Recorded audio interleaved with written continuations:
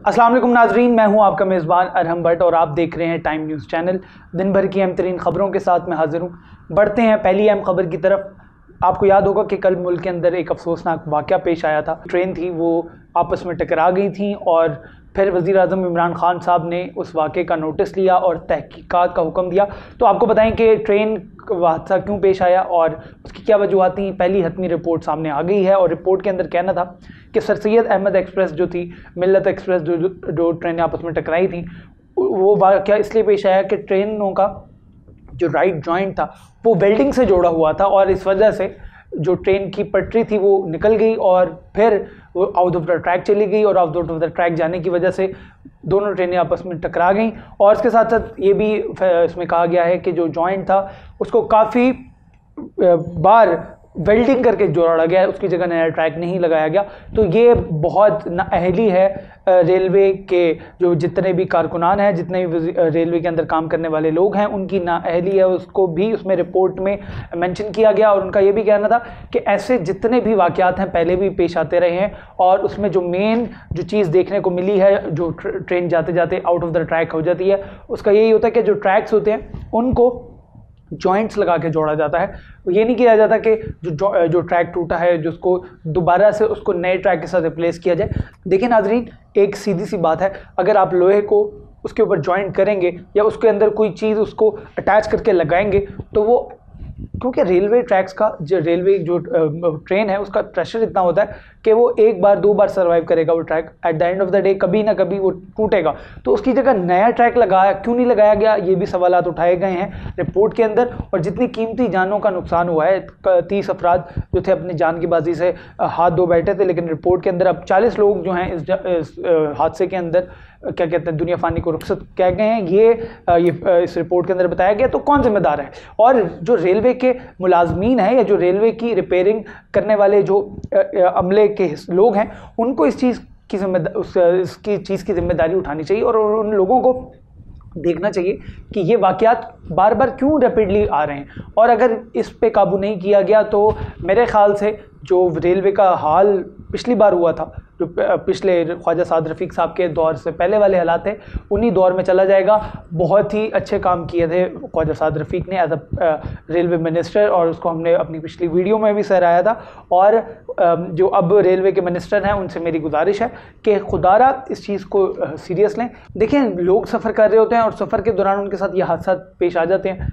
तो लोगों का तो अतमाद फिर हट जाएगा और फिर वो रेलवे में सफ़र नहीं करेंगे और रेलवे में जब सफ़र नहीं होगा तो रेलवे ऑटोमेटिकली खसारे का शिकार हो जाएगी।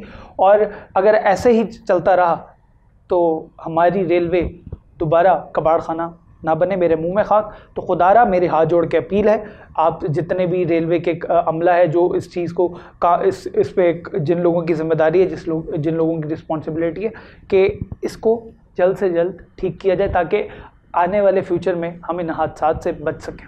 अब बढ़ते हैं दूसरी अहम खबर की तरफ़। कनाडा में शहीद करने वाले मुसलमानों का कसूर सिर्फ़ ये था कि वो मुसलमान थे। ये कहना था शाह महमूद कुरैशी साहब का और उन्होंने कैनेडियन गवर्नमेंट से अपील की है कि जल्द से जल्द इस वाक़े की तहकीकात कराई जाएँ, क्योंकि पाकिस्तानियों को इस तरह मारा जा रहा है कनाडा में। ये पहली दफ़ा नहीं हुआ।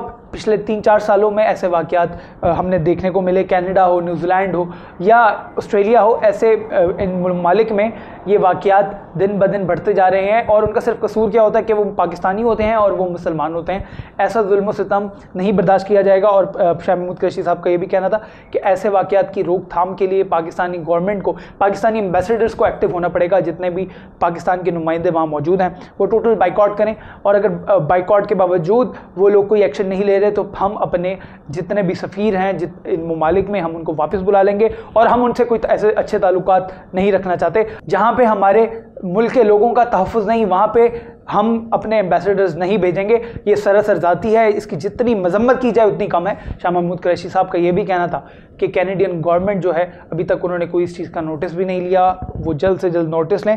लेकिन नाजरीन पाकिस्तानियों के साथ जुल्म सितम की दास्तान जो है पहले से चलती आ रही है और ये जुल्म जो है, तकरीबन एक सदी से चलता आ रहा है और पिछले साठ, सत्तर सालों में, पाकिस्तानी मुस्लिम जहाँ पे भी हों, उनके साथ ये जुल्म सितम होता आ रहा है, उनको नजायज़ कत्ल किया जाता है, उनको शहीद किया जाता है। सिर्फ़ इस बिना पर कि वो सिर्फ़ मुसलमान होते हैं या वो पाकिस्तान से बिलोंग करते हैं। तो ऐसी जितनी भी बुजदिलाना कार्रवाइयाँ हैं या ऐसे जितने भी मामला हैं, इनको रोका जाए। और हम देखें कि अगर पाकिस्तान के अंदर जितने भी फॉरेन लोग आते हैं या जितने भी विज़िटर्स आते हैं टूरिस्ट आते हैं, उनको पूरा तहफ़ दिया जाता है। अगर मैं आपको अभी रिसेंट पास में एग्ज़ाम्पल दूँ पी की तो पाकिस्तान में तीन साल से पीएसएल हो रहा है। और पाकिस्तान के ऊपर लोगों ने काफ़ी सवाल उठाए उसके उसकी सिक्योरिटी के बारे में, लेकिन हमारी फॉरेन आर्म फोर्सेस ने और हमारे जितने भी हमारी प्रीवियस गवर्नमेंट थी या अभी मौजूदा गवर्नमेंट है, उन्होंने मेक श्योर किया कि हर खिलाड़ी को, हर फॉरन प्लेयर को तहफ़ दिया जाए, क्योंकि उनका तहफ़ हमारा तहफ़ है। इसी तरह उन ममालिक के अंदर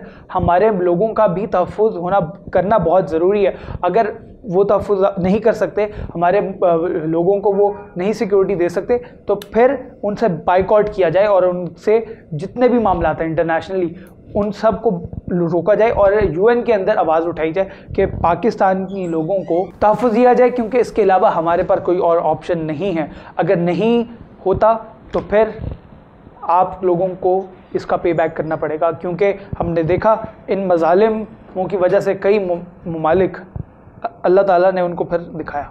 अब बढ़ते हैं तीसरी अहम खबर की तरफ़। रिंग रोड के बाद दोजा डैम का काम भी बंद कर दिया गया। याद रहे कि सात अरब रुपए की लागत से तैयार होने वाला ये जो डैम था, इसकी तरक्याती काम और इसका तमीर का काम रोक दिया गया है। इसका पहला प्रपोजल 2001 में दिया गया था और इस डैम से मुतव था कि पैंतीस हज़ार पैंतीस लाख गैलन जो था वो पानी रावलपिंडी को ये फराम करेगा। रिपोर्ट के अंदर ये कहा गया, लेकिन इसके जो मंसूबे की जितने भी प्रोसेसिंग है, या जितने भी काम होने वाले थे, उसके ऊपर लोगों ने स्कैंडल बनाया और लोगों ने कुछ पिछले दौर के अंदर भी और अब रिसेंट दौर के अंदर भी लोगों ने आवाज़ें उठाई। और अब जो है जो न्यूज़ आई है वो ये है कि काम रोक दिया गया है। जब तक इसकी तहकीकात नहीं होंगी, तब तक ये मनसूबा आगे नहीं बढ़ेगा। आपको याद रहे कि खानपुर डैम जो था अपना अपनी मुद्दत पूरी कर चुका था और खानपुर डैम जो था वो काफ़ी पानी फ्राहम कर रहा था रावलपिंडी को लेकिन मुतव था कि ये जो डैम बनेगा इससे 35 लाख गैलन रावलपिंडी इस्लामाबाद को पानी फराम किया जाएगा। लेकिन आ, आ, रिपोर्ट के मुताबिक अब जो है हमारे ज़राए ने भी ये इस बात की तस्दीक की है कि इसका काम रोक दिया गया है, जब तक तहकीकात नहीं होती। और मेरे ख्याल से तहकीकात हो भी जानी चाहिए। हमने देखा, कुछ ऐसे मंसूबे थे, उनको बीच में रोक दिया जाता है, फिर उसके बाद उनकी तहकीकात की जाती हैं। जब तक उनकी मुकम्मल तहकीकात नहीं होती, सुप्रीम कोर्ट से ऑर्डर नहीं आते, तब तक वो मनसूबे आगे नहीं बढ़ते। इसकी सबसे बड़ी मिसाल हमारे सामने है ऑरेंज लेन ट्रेन इसके ऊपर लोग काफ़ी करप्शन के इल्ज़ाम लगाए थे, जो कि अभी करंट गवर्नमेंट के बंदे हैं।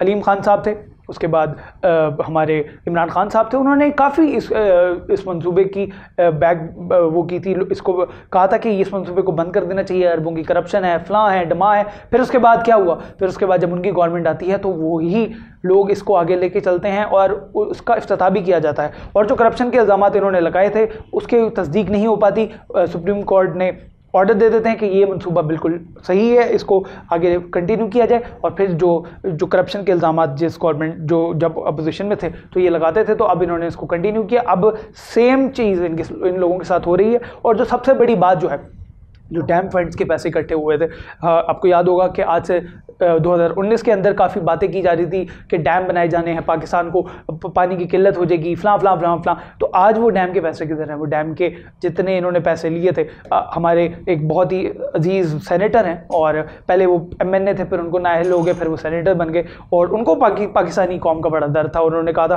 कि हम पाकिस्तान के लिए डैम बनाने जा रहे हैं पाकिस्तान के लिए हम पाकिस्तान का फ्यूचर सिक्योर करना चाहते हैं। तो पाकिस्तान का फ्यूचर सिक्योर करते करते करते करते वो कहाँ चले गए? कहाँ नज़र अब वो वो एहसास उनके अंदर क्यों नहीं है, वो जज्बा उनके अंदर क्यों नहीं है? उनसे सवाल अगर हम करेंगे तो वो जवाब हमें नहीं देते। तो खुदारा हर चीज़ को पैमाना बराबर होना चाहिए, हर चीज़ को उसको नापने का पैमाना दोनों तरफ़ बराबर होना चाहिए। अगर आप अपने लिए पैमाना कुछ और रखना चाहते हैं और दूसरों के लिए पैमाना कुछ और रखना चाहते हैं तो ये चीज़ मेरे ख्याल से सूटेबल नहीं रहती किसी भी जमहूरी हुकूमत में, किसी भी जमहूरी दौर में। तो खुदारा इस चीज़ से बचें और पैमाना बराबर रखें। ये थी आज की ताज़ा तरीन। अगर वीडियो पसंद आए तो चैनल को ज़रूर सब्सक्राइब करें, लाइक और शेयर ज़रूर करें ताकि आप अपने प्यारों के साथ दिन भर की अहम तरीन खबरों से आगा हो सकें, उनको भी आगाह कर सकें। तब तक के लिए लाफिज मिलते हैं अगले न्यूज़ बुलेटिन में।